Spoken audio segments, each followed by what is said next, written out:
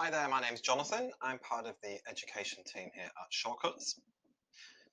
This video that we've made for you is just a little video just to show you how to update the information that you want to get out to the clients within that confirmation text message that you send out before the appointment. So what we're going to do, we're just going to come over to the right hand side here on the navigation panel. Down at the bottom corner, we're going to click on Setup. Then on the first option, Configuration, over on the left hand side in our other navigation panel there, we're going to just drop down to general.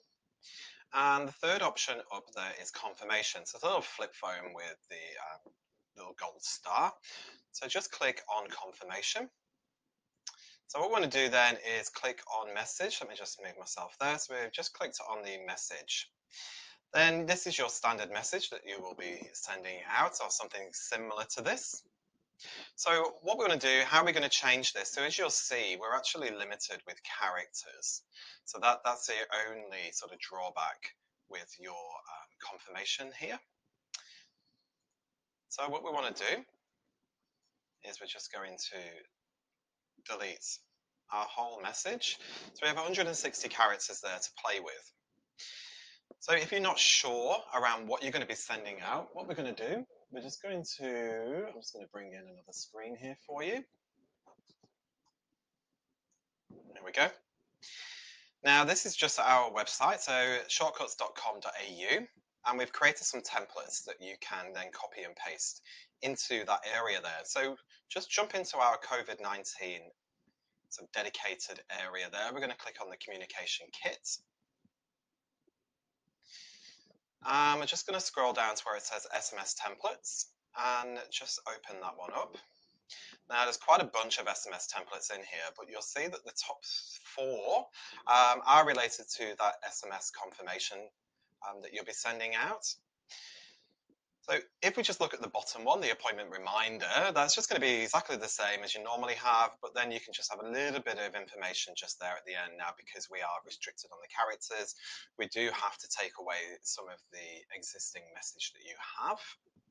Then we can have a survey if you want to have the survey in there. There's a specific request if you're unwell, you know, please call us.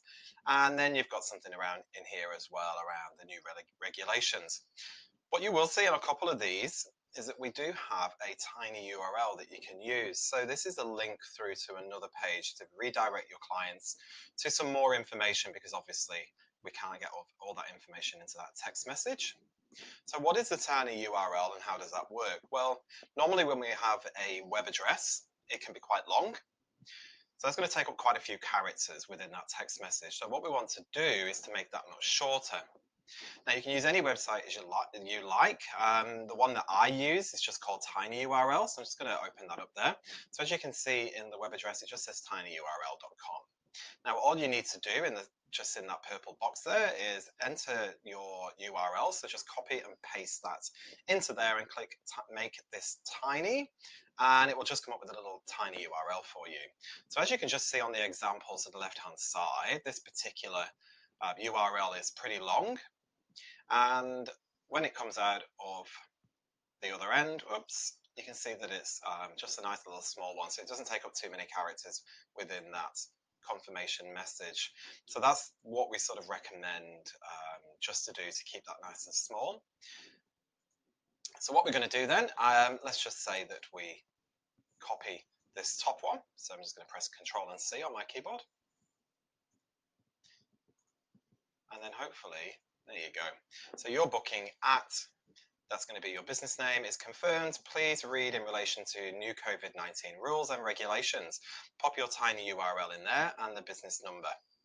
Now, to shorten that business name, the business name itself and the phone number, they're pulled from your business settings here on the left hand side underneath general you see that little house whatever information is in there will be pulled into those fields so if you do want to shorten these, then get rid of the fields themselves and just pop it in a shortened business name.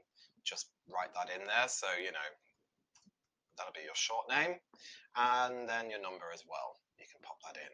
All right. So it's pretty easy, really. Um, if you do have any problems, you can call our help desk. otherwise, we do have other videos around um, the creating SMSs in our video library, our normal video library. And like I said, there's plenty of other SMS messages there for you to use. So I hope you found that useful and good luck with everything. And yeah, it's great to be opening and starting to run our business as normal again. So hopefully with all this will be over soon. But in the meantime, just keep checking our COVID-19 dedicated sort of resource area. There's um, plenty of information in there, loads of ideas for you as well. All right, speak to you soon. Bye-bye.